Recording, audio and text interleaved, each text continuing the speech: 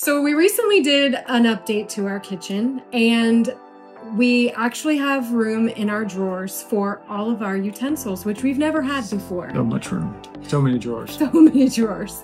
So we were looking on Maker World to see what we could use to OCD these drawers up a little bit because I love it.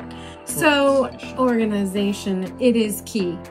Um, so we did find these ultimate Gridfinity drawer, utensil drawer organizers online and we did a setup for utensils and then we did another set in our other drawer for a knife block and various utensils Various. can openers and whatnots thermometers today we're going to walk you through the steps we took to find these lovely prints and to print them out and also put them It is a little bit of an endeavor, but once you do it, it's great to have. I will admit that it was my idea, but I let my husband do all the hard work. and he did a great job. So we'll be showing you the steps we took and then ultimately how it turned out. So let's get into it.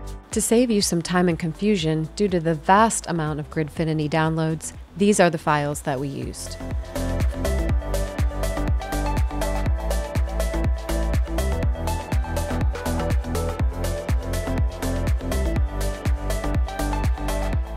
First, you'll need a grid interlocking base plate system called GRIPS to stack on your Finity organizers. It will also help to measure the dimensions of the drawer you're working to organize. You will also find links to the Maker World models down below in the description.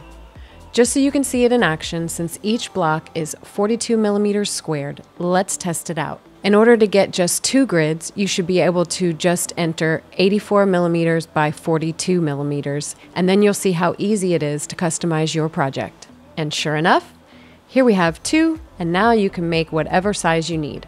If the print is too large for your print bed, it will break them down to form separate build plates. If you need a 420 millimeter by 420 millimeter, which is obviously 10 grid squares wide and tall, you should get four plates. Et voila! Four evenly spaced grids. But what if they tend to be a bit odd shaped? We will enter 462 to give us one more across, and now it will separate them on six plates versus four, and then you can fit them together once printed, and you can move on to picking your arrangements of containers, dividers, and blocks. Picking your containers is fun, and once they're all in place, you don't have to worry about slipping and sliding utensils or whatever you're organizing. Your stuff will have a neat and tidy place that you can access at any time. If you had odd empty blocks, you just slip a single 42 millimeter piece and cover those gaps for a cleaner look.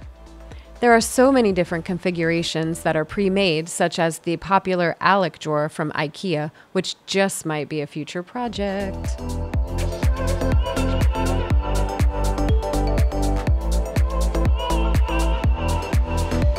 In this particular project, the models we used were a mixture of legacy knife blocks and ultimate kitchen drawer organizers.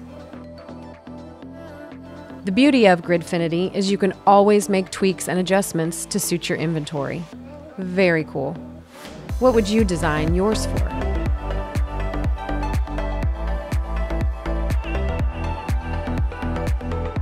As always, thanks so much for watching. Let us know below if you have any suggestions, comments, if you have printed any Gridfinity models, and if you like them or don't.